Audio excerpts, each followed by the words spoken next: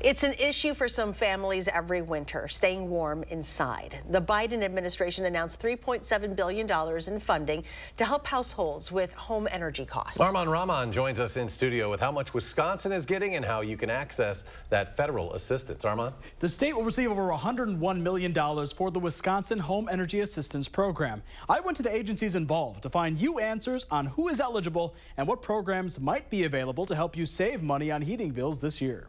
I think it's important to use the resources that are out there. Walanda Singleton is a grant administrator for Project Home, one of the state's many weatherization agencies that serves Dane and Green counties. Homeowners can get their properties assessed online to see what can be improved to save money or needs to be replaced. It'll tell us we need more insulation at what level we need it.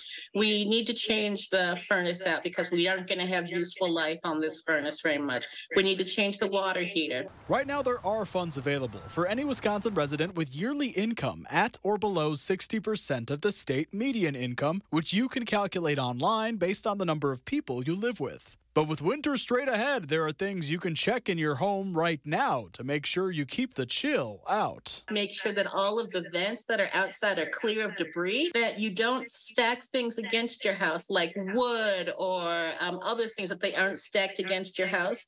It makes for a nice place for rodents to um, hide there. Singleton says for this recent $101 million in funding, agencies like hers come together and share what services they've gotten asked for to see if they can fund them. So far, she says there's been talk of washer and dryer repair, AC repair, and solar. Um, there's lots of uh, information out there about electrification, so I think that's something that's going to be coming down the pike pretty soon. The Wisconsin DOA says if you find yourself without heat at all in the coming months, you should call Energy Services or apply online to get a technician to your house ASAP.